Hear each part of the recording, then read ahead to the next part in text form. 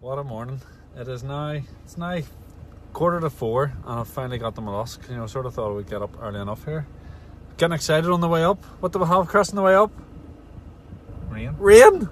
So this morning was, first things first, was went down to the shop and took all the XMTV stuff out of their trailer, put all the Kinning Cycle stuff in, got the trailer prepped.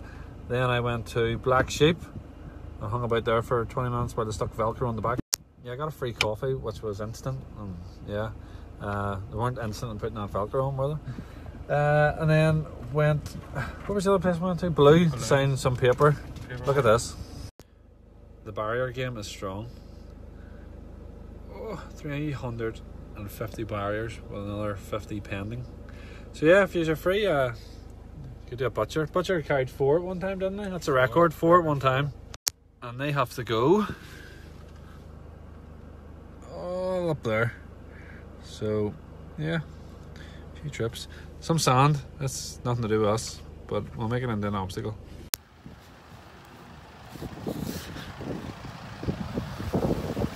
Pets. Bombs head of pets. Jim. Come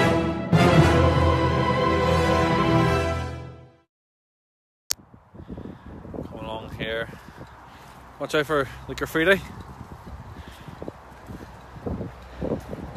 Banks. So we're going to be coming along this bank. Nice wee bus stop here. Uh, just so the people here can uh, enjoy their Sunday lunch and see the top international riders fall off. All brought to you by uh, Chimley Corner Entertainment. Uh, it's a wee bit dark, half seven. Yeah, running out, out of light there, didn't we, Chris? Yeah. Marked out. International writer Thomas Creighton came up and uh, gave us a few pointers on how to make courses, didn't? Delighted, delighted.